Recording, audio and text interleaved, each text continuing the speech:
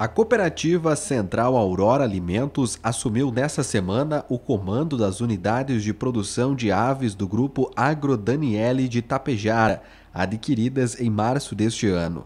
Em comunicado enviado à imprensa, o presidente da Aurora afirmou que até a próxima sexta-feira, dia 21, serão iniciadas as operações de abate para o processamento de produtos da marca Aurora. A aquisição amplia em 20% o processamento industrial de aves da cooperativa, que hoje é de cerca de 1 milhão de abates diários. A transação aprovada pelo Conselho Administrativo de Defesa Econômica, o CAD, cujo valor não foi informado, envolve cinco unidades produtivas do grupo.